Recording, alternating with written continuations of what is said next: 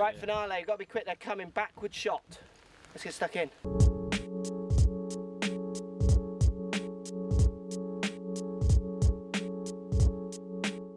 Right, Nearest the pin, backward shot. it's landing on your head, mate, this is. Yeah, you're not really going in the right direction there. Well, you can't go that way, I don't think it's enough loft. You see, it starts flat, you've got to go up the slope. I'm just getting it on the green. That's a win.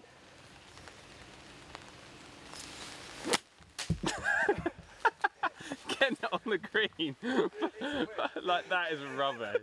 It's not a hardness. The pin's over there. All right, well, let's see you do it.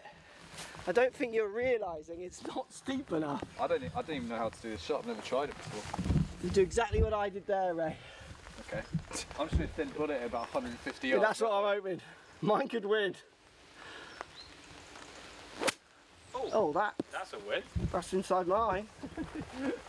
Good effort. Do you want to pick mine up Yeah, there? placed. Yeah, place. Right, Matt, this the climb, the win. Yeah. See, I don't think you've got enough angle to do it there.